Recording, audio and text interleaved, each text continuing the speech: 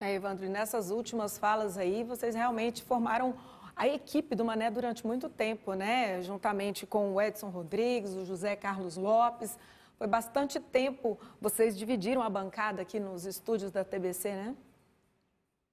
Foi difícil conter aqui a emoção na fala do Manuel Filho, que começou aí com o Mané, e que acabou se tornando o apresentador principal do programa.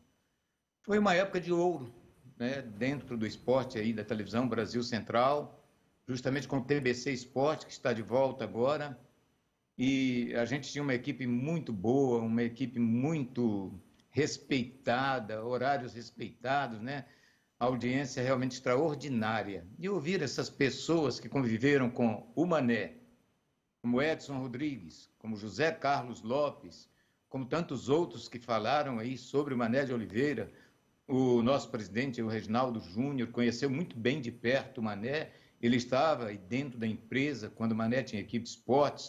O próprio Rafael, que era concorrente, não é? Então, é, a gente fica pensando aqui de tantos momentos bons vividos dentro do rádio, da televisão, e essa saudade imensa que teima é, em machucar o coração da gente com a partida do Mané. Tá certo. Daqui a pouco o Evandro e o Daniel voltam, continuam aqui com a gente no estúdio.